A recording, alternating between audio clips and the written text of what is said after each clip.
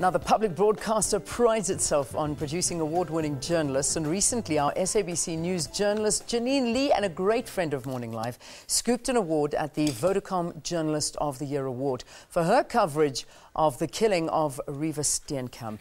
The award she received was for her powerful, innovative profiling and uh, general news around uh, a rather tragic story. Our reporter and winner of the 2013 Television News Journalist, Janine Lee, is right behind me. And uh, she joins us from our Port Elizabeth studios. Well done, Janine Lee. I'm so proud of you. Uh, thanks so much, Leanne. Um, it feels really special to be sitting here, so um, thanks for having me. Yeah. it's a little bit different, hey? Usually I'm crossing to you saying, right, Janine, now what's happening? Who's done what and to whom? But now, now I'm actually just, I'm interviewing you. This is a nice feeling. yeah, it's, it's, strange for me because normally I do a bit of research about what I'm going to talk to you guys about. But yeah. I mean, what, what I do, but yeah. it's good. All right, so I'm, I'm, I'm going to catch you off guard now. And I'm going to ask you just a little bit about your sort of beginning in journalism. When did you start off at the SABC? Um, actually, Leanne, just before the 1994 elections, I was um, I got a contract as a researcher and I started here at the SABC in the Eastern Cape. And I did a lot of stories, or I researched a lot of stuff around the elections, and then I would go to the journalists and say, listen, he has a great story. But you know, journalists, we've all got our own agendas, and they were too busy to do it. So um, I spoke to our then regional editor, Ray Nell, and I said, you know, Mr. Nell, I've got this story and whatever. He says, Janine, you just go and do it. Yeah. And then after the six months were up, um, I, he gave me another contract. And then after that, he said, you know, we'd like to employ you permanently. Yeah. So that's where it all started. That's amazing. It's just, it's having that one individual that gives you that lucky break. Because, I mean, that's, you know, that's what we all need, I suppose, in this, in this industry and every other industry, is just being given that chance and that, that lucky break out there. Yeah, no, Leanne, I must say I, I got it and I, I took it and I must, I've never looked back. It's just been such a privilege to be able to have a platform to maybe give a voice to people that that don't have a voice and be able to tell stories that that might not you know ever get out there and that the public may never know. Yeah, let's let's talk about this story because this story, I mean, it's an ongoing story. Uh, I don't even think we've, you know, this the, w- this was just the beginning of the story. This story is still going to get deeper and more intense, and it's going to continue. But when this news broke, um, what was your immediate reaction? Do you remember that day? I do, Leanne. We, we heard whisperings that um, the, the girl who had been shot was from Port Elizabeth. And always when the Oscar story broke, there were always going to be two parts once we knew that it was Reeva Steenkamp. And we knew that she had gone to school here in Port Elizabeth to St. Dominic's Priory School. So that was actually our starting point because you, you probably will remember that her parents and close family members, there was a complete blackout. They were, nobody was speaking um, from her close family. So, you know, I, I, had a story that I needed to do, but I, I had no starting point to go to.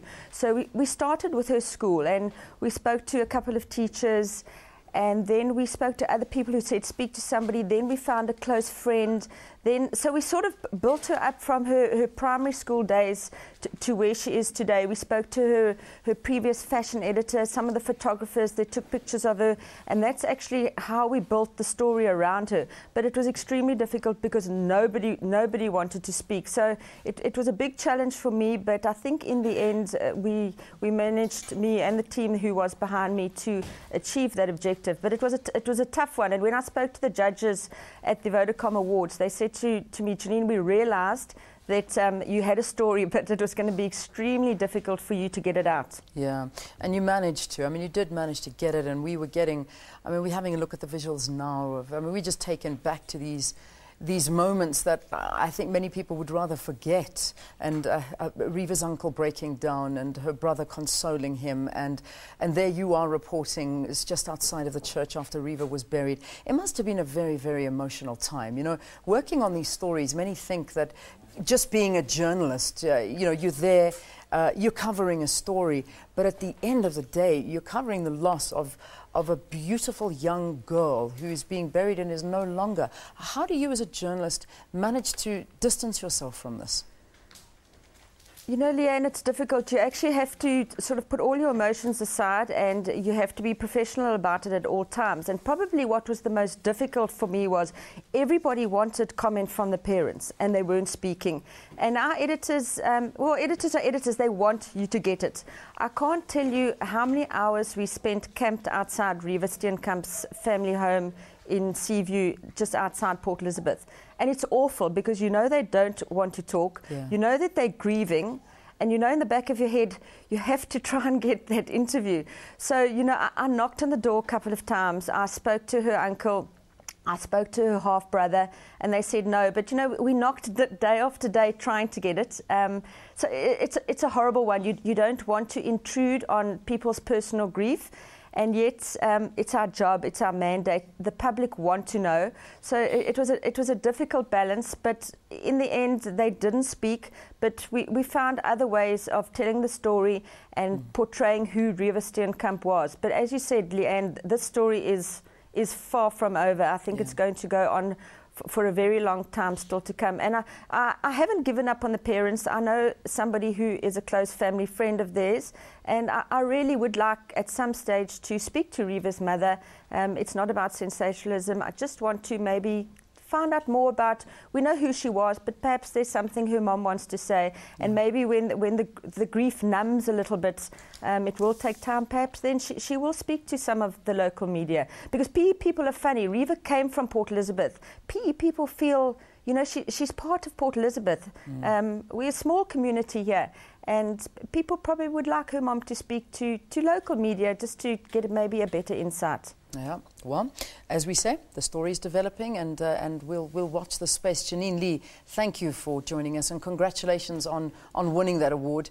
Do you carry it around with you? Is it there with you? it's here You, to see, I knew I'll it. you. It had to be Look, there. look. Give us a glimpse. There you go. Janine Lee, Journalist of the Year for 2013, the National Award. I, it's a fantastic accolade for television news. Well done to Janine. All right. Thanks for joining us, Leanne, Janine. Leanne, Yes, Leanne, yes. Leanne, bef- bef- before before you go, I just want to say so much um, thank you to Morning Live because you guys have always been so supportive of me. Um, it's it's been a you, you, it's a great platform for my work, so I really appreciate it. And um, you know, if Vuyo was here to you guys, sharp, sharp. Sharp, sharp to you. Thank you too. very much. Yeah. And if, if he was here, I'll tell you what he'll give you. You know the title, everyone? Should we do it together? O Boso era. 100%. We all know. Janine, well done. Well done. Unbelievable. Okay, let us take